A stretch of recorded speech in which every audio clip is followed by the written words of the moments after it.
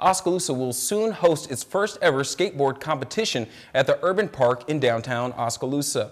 This is the first event of its kind in Oski. It's free to the public and free to register. The only thing you have to pay for is the food. The competition's organizers, um, organizer is the Mahaska Community Rec Foundation.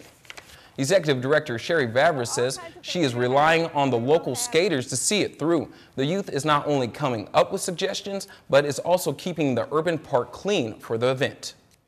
The competition being the first one, we're not sure if we're going to get a lot of local people or um, also out of town people, but just to come together and do something like this together involving the kids, that's the important part.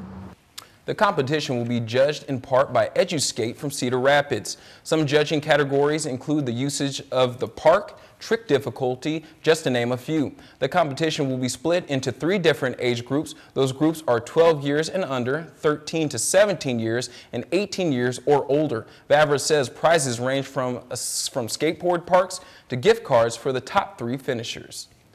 The free competition is Saturday, August 1st at 11 a.m. To pre to pre-register, visit our web visit our website critv.org and click on that particular news article.